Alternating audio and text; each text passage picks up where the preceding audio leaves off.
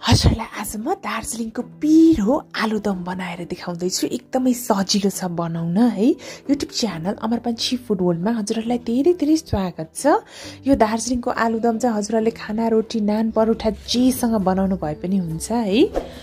र खाँदाखेरि पनि एकदमै मिठो र पिरो हुन्छ। उसिनेको आलु तिन सय ग्राम जति लिएँ गोलभेडा एउटा लिएँ हरियो धनियाँ लिएकी छु मैले एउटा प्याज चाहिन्छ अदुवा पन्ध्र ग्राम जति लिएँ र लसुन चाहिँ चारवटा जति लिएकी छु है। यो रेसिपी बनाउँदाखेरि चाहिँ रातो खुर्सानी कागती पनि चाहिन्छ र थोरै मरिचको धुलो भए पनि राम्रो हुन्छ।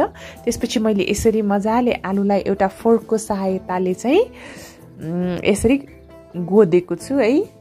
यस्तो गऱ्यो भने चाहिँ मसला भित्रैसम्म जान्छ र एउटा मिक्सर जारमा मैले नुन एक चम्चा रातो धुलो खुर्सानी एक चम्चा बेसार एक चम्चा धनियाँको धुलो एक चम्चा र जिरा आधा चम्चालाई लिएँ एउटा गुलभेडालाई राखेँ लसुन अदुवालाई राखेँ र खुर्सानी स्वादअनुसार राख्न सक्नुहुन्छ। मैले चारवटा जति राखेँ है र त्यसपछि थोरै फुड कलर राखेँ। यो चाहिँ अप्सनल हो है अरेन्ज रेडवाला र त्यसपछि यसरी प्याजलाई पनि राखेँ। अब यसलाई हामी मिक्सरमा ब्लेन्ड गर्दैछौँ।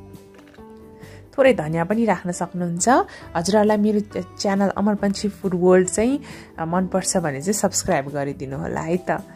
हेर्नुहोस् त यस्तो भयो र थोरै मैले चार चम्चा जति तोरीको तेल राखेँ तोरीको तेलमा बनाउँदा एकदमै टेस्टी बन्छ है। यो प्युरीलाई मैले राख्नुभन्दा अगाडि एउटा तेजपत्ता र थोरै कालो तिल वा मुगरेलालाई राखिदिएँ। त्यसपछि यो अघिको प्युरीलाई राखेर एक मिनट पकाउनु होला है। धेरै पकाउनु चाहिँ पर्दैन। एक मिनटपछि थोरै धनियाँ हालेँ मैले त्यसपछि आलुलाई राख्दैछु है। आलुको भित्रसम्म मसला जानुपर्छ। यो चाहिँ सिङ्गै सिङ्गै राख्ने चलन छ है। कागती आदिलाई राखेँ मिठो बनाउनको लागि मरिचको धुलो थोरै राखेँ है।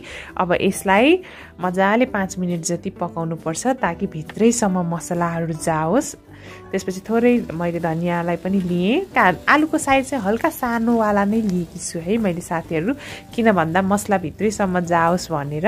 यसरी मजाले तयार भइसकेको छ। आजको रेसिपी हजुरहरूलाई मन पऱ्यो भने लाइक गर्नुहोला मन परेन भने डिसलाइक गर्नुहोला। लास्टमा ग्यास अफ गरेर धनियाँलाई राखेँ र म टेस्ट पनि गर्दैछु। साथसाथै मेरो च्यानल अमरबन्ची फुडवाला सब्सक्राइब गर्न नबिर्सिनु होला एकदमै टेस्टीसँगले तयार भइसकेको छ। Thank you so much for watching have a nice day happy cooking bye